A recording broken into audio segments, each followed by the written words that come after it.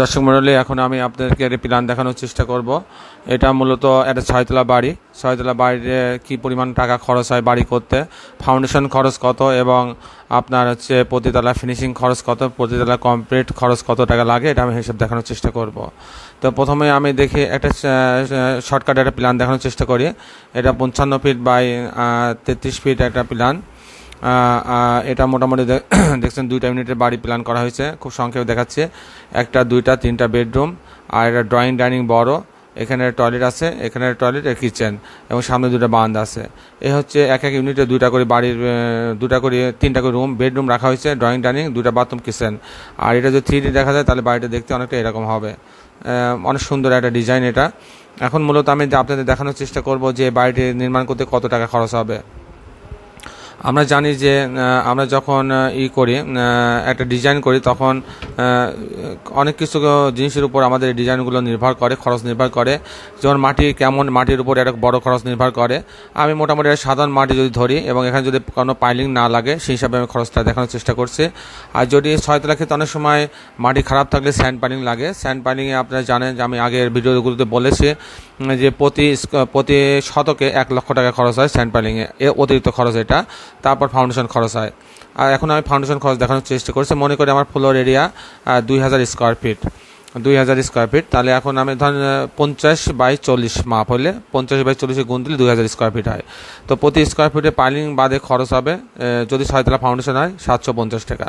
এটা আমাদের মনে রাখতে হবে যে প্রতি সাতশো পঞ্চাশ টাকা খরচ হবে পাইলিং বাদে যদি আমার দুই হাজার স্কোয়ার ফিট আসছে এবং ছয়তলা ফাউন্ডেশন হয়। যদি এটা চারতলা ফাউন্ডেশন হতো সেক্ষেত্রে হয়তো এখানে সাড়ে ছয়শো কিংবা ছয়শো অনেক সময় সাড়ে পাঁচশো টাকায় হয়ে যায়।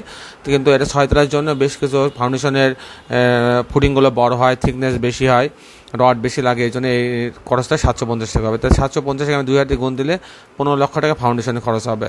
এটা একটা সাত, দুই হাজার স্কোয়ার ফিটের তিন ইউনিটে বাড়ি করা যায় সহজে। আর দুই ইউনিটে তো ভালো, দুই ইউনিটে বাড়ি হবে।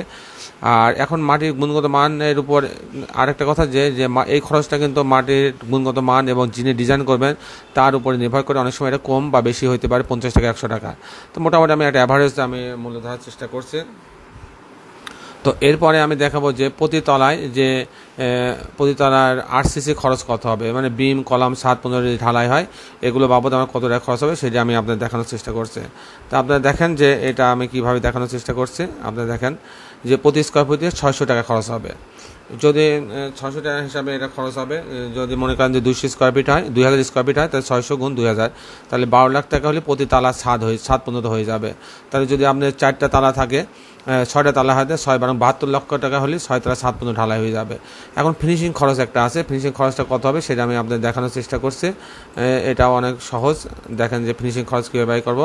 প্রতি তালা ফিনিশিং খরচের মধ্যে আসে আপনার গাঁথা ইটের গাঁথা চারিদিকে ব্রিক ওয়াল প্লাস্টার রং করা ইলেকট্রিক কাজ স্যানিটারি কাজ তারপর অন্যান্য যে রং করার কাজ প্রত্যেকটা কাজ এর মধ্যে হয়ে যায়।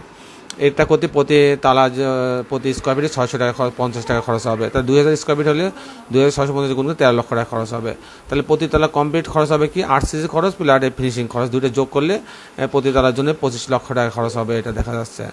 তো প্রতি তালায় আমার ফিনিশিং খরচ হবে পঁচিশ। তাহলে ছয় তলা হলে পারে, এক কোটি পঞ্চাশ লক্ষ টাকা হলে কমপ্লিট বাড়ি আমার হয়ে যাবে। এই মোটামুটি আমি আপনাদের মাঝে দেখানোর চেষ্টা করলাম যে এটা কত টাকা খরচ হয় এবং কী কী খরচ হয়, এটা দেখানোর চেষ্টা করলাম। তা আর বাড়ি নির্মাণ সংক্রান্ত যে কোনো তথ্যের জন্য আপনারা আমাদের সঙ্গে যোগাযোগ করতে পারবেন। আর আপনার কাছে অনুরোধ যে দয়া করে যারা আমার এই চ্যানেলটি দেখেন, আমার চ্যানেলটা সাবস্ক্রাইব করতে ভুল করবেন না। তাহলে আমি উৎসাহিত বোধ করব এবং নতুন নতুন ভিডিও আপনারা দেখতে পারবেন। আর বাড়ি নির্মাণ সময় যে কোনো তথ্যের জন্য আপনারা আমাদের সঙ্গে এই ঠিকানায় যোগাযোগ করতে পারবেন। আমি প্রাথমিক হিসাব আপনাদের দেখানোর চেষ্টা করব। Zero one seven eight three nine zero six nine one two. আল্লাহ হাফেজ।